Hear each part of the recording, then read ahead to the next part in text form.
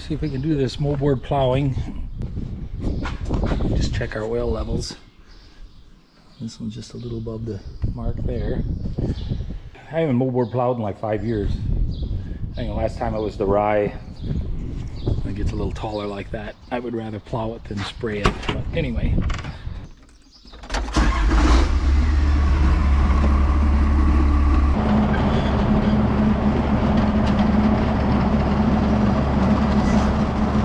This plow is what you call a semi-mounted plow.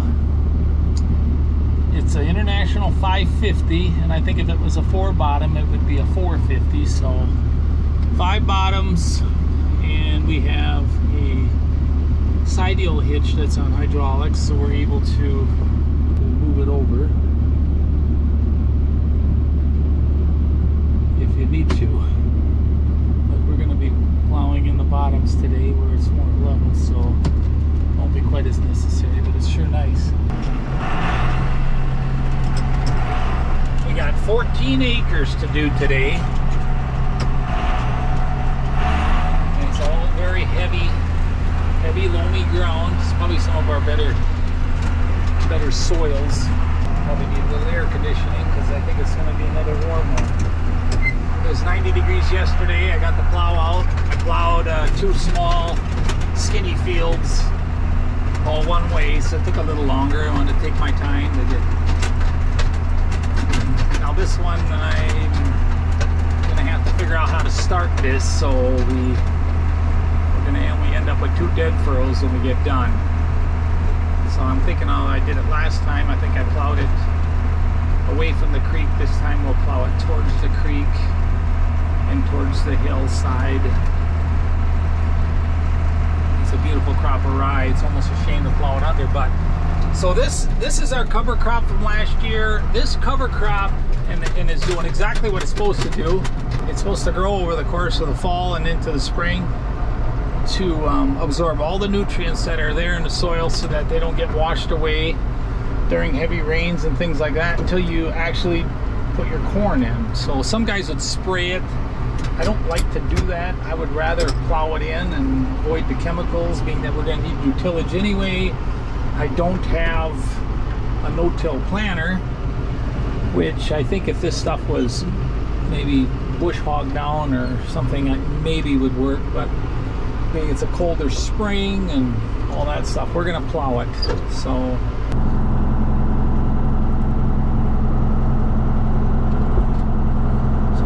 pass, we got to set the front moldboard a little lower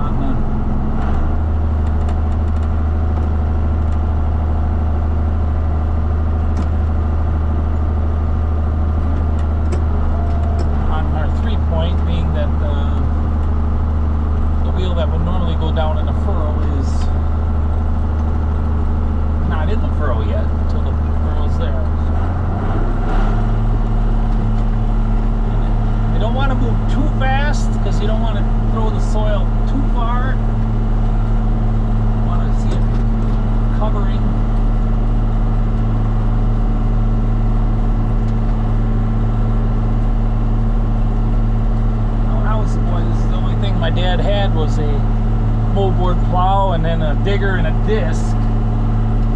We never had a chisel plow or any of those type of things. They became more popular in the late 80s into the 90s. And I still think moldboard plowing has its place, just not everywhere every year. So what's going to happen, we moldboard plow this rye under, and then uh, it's what they call green manure. Okay, so that, that rye has soaked up all those nutrients over the course of the last fall and into the spring here, and then it's going to be rotting down ever so slowly throughout the summer. As the corn is growing, it's going to be able to use those nutrients instead of putting it in and on, on with like conventional fertilizers where it actually, if you get too much rain, it leaches away. This will be like you, you'd say like encapsulated inside the plant until the plant eventually decays and, and goes back to the soil for the corn plants to use. So it's really a way of capturing your nutrients that are already there before uh, the fall and winter and spring rains washes it away. And we're already the middle of May, so we're not going to wait to harvest this stuff. We're going to get this corn in, I think. I think we're going to get a lot bigger punch out of our corn if we plant sooner and and uh, use the rye for more of a fertilizer. So we'll, what we'll do when we're done plowing, we'll go over it with a disc just to groom it up a little bit. Try not to get those sod bunches tipped back over. Don't want to use a digger on this.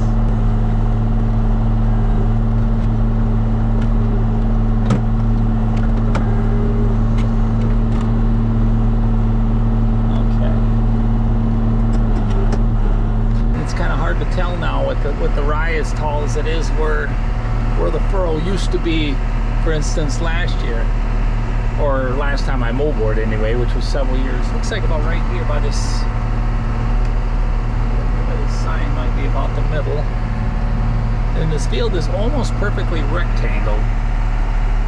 So that's gonna make it a little easier. The thing is I I don't know how I'm gonna do the ends yet. It ends up with another another furrow there, but I think we're just gonna go up on the top here, gonna plow that. We'll take a look at it from the other end. Um, sometimes I can follow the old corn rows and that's kind of nice too because then it keeps you nice and straight so when you come to the center with when you come to the end of the field you got your you got your bed for all, all together. You don't have a bunch of short rows to try to fill in I wanted a rollover plow. They're not very popular around here. They're virtually impossible to find used. I did try to price a new one. The guy never got back to me. I assume he can't even find one. And then there's a what they call uh, reversible plow, which I think is some sort of hydraulic system that's that just slips the plow to the other side. So instead of plowing it to the right, you're just throwing it to the left instead of turning the whole machine upside down. And it's a lighter machine, so you don't need as big of a tractor. So right now we got 115 horse four-wheel drive, more than enough. But if we had a rollover plow, I think um, we need a bigger tractor, especially in the hillsides, just to handle the weight so. I bought this plow back in the mid 80s for $200 on a farm auction. Actually, quite cheap for those days, but there was a time in there where nobody wanted to plow anymore. They were all going to chisel plowing. No-till was starting to become very popular. Moldboard plow almost got to the point. I think a lot of them got cut up for iron there's a lot of beaming and a lot of a lot of heavy iron in there people use for other stuff and now it, it's coming back and especially in organic farming and uh, and I think what what we're finding out is even though we don't want to till much we some tillage is still necessary occasionally even though you wouldn't do it all the time and I think something like this is the perfect case for it So I'm hoping I can get by without spraying this field with a Roundup product later on. It's hard to say for sure what that stuff's going to do. It's going to want to come through. I think it kind of depends on what the what the weather does, how well the corn gets started, if the corn gets ahead of it.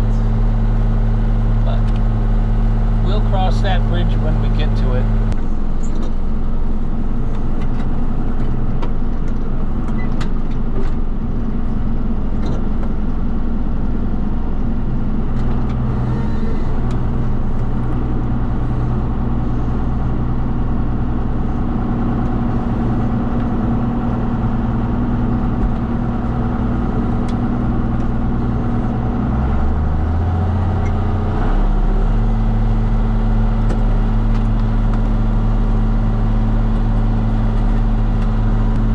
Just going to plow in the middle until we get a little wider.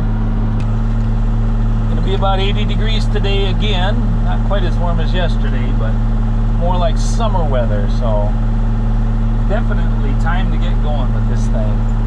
I just love the condition of this soil. Hopefully have it planted in a couple days. Everything's been working real good so far as far as the planter and the tillage machines. as long as I got some good operators to do this with me, we should be clipping right along.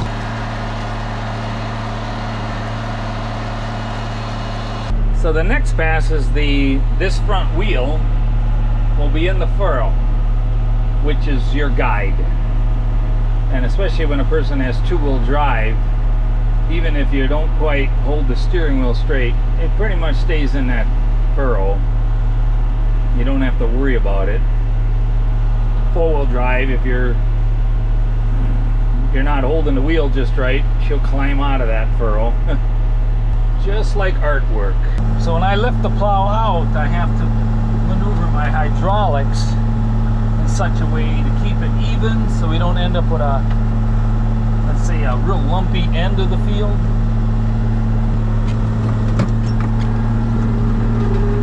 There, not too bad. And the same with putting it in the ground. So we drop our front a little lower, then we gradually bring our front back up and then there's a setting on the on the three point control that allows you to drop it to just a certain point. Like a notch in there where it'll set you don't have to guess every time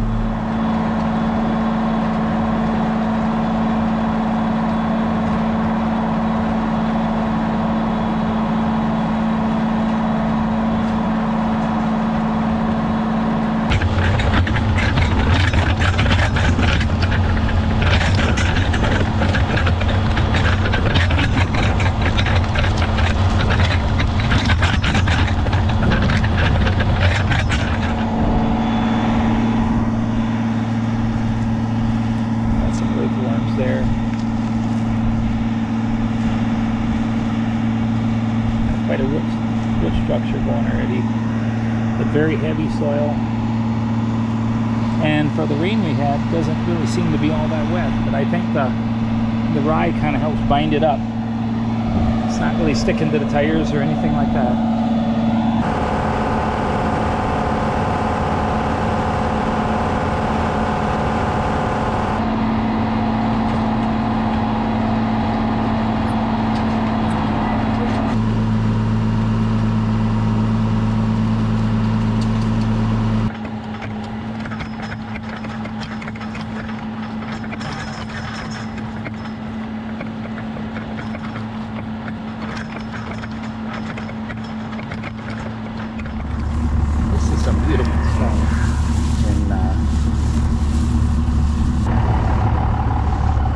I decided to split the field in another spot.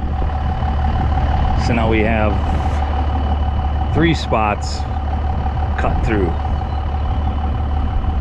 Well, actually four. So we got our ends and then two spots in the center. But we don't have so many end rows. It did look a little lower in the field in this spot. So again, just beautiful. And the way that soil is turning almost like a farmer's dream. Usually things like this don't always turn out, but you can see the root mass. You can still see all them fine roots down in here from that rye. I mean, it's all the way through. Lots of goodies. Hopefully we can get a get a punch out of this. But we're gonna keep going. This is the part that you have to be a little more careful with. do is I put the front down a little deeper to back up a little bit kind of tilt the plow so your dead furrow isn't quite as obvious, I guess. So I'm going to go this way and then I'm going to come back and throw some of that dirt from the other side right back in there. Because we don't want a hole in the field. And that's kind of the downside to these one-way plows. They're they're easier to pull, Would be nice if you can just throw the whole field one way and then the next time you do it you throw it all back the other way and it kind of evens out over time.